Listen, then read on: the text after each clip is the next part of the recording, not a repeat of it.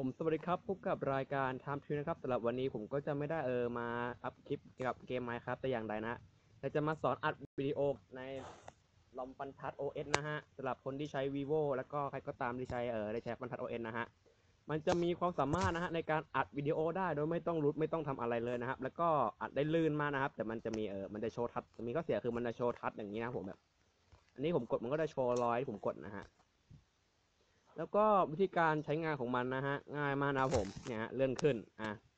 เข้าเมนูตรงนี้ผมภาพหน้าจอพิเศษนะฮะแล้วก็กดอัดวิดีโอตรงนี้นะผม ซึ่งวันนี้ผมกดอัดอยู่ก็เลยกดอัดอีกครั้งไม่ได้นะครับ แล้วก็ถ้าจะหยุดอัดทำยังไงนะฮะผมก็กดตรงนี้ก็หยุดอัดนะครับผมนะฮะแล้ววิดีโอที่คุณอัดล่าสุดมันก็จะขึ้นอยู่ตรงแท็บแจ้งเตือนของคุณนะผมแต่กดปิดไปก่อน ส่วนในกรณีที่อัดแล้วไม่มีเสียงนะครับผมให้คุณเข้ามาในออปชันตรงนี้นะครับผม แล้วก็ไปที่ตัวนี้นะผมเอ่อไอ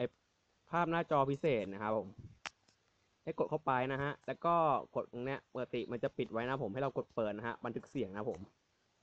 อ่า แล้วก็เนี่ยผมก็ต้องเปิดเสียงเสร็จแล้วคุณก็อัดได้เลยครับผม อัดได้ปกติ แต่มันจะมีปัญหามึง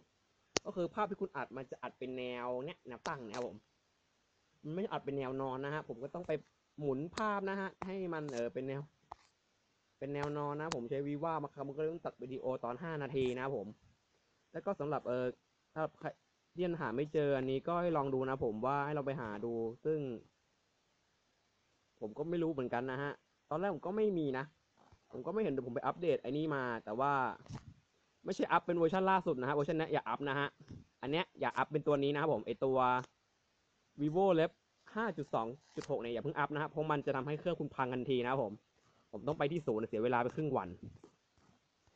แล้วก็สำหรับคลิปนี้ก็จบไว้ก่อนนะครับสำหรับวันนี้สวัสดีครับนี่กดหยุดกดปิดนี่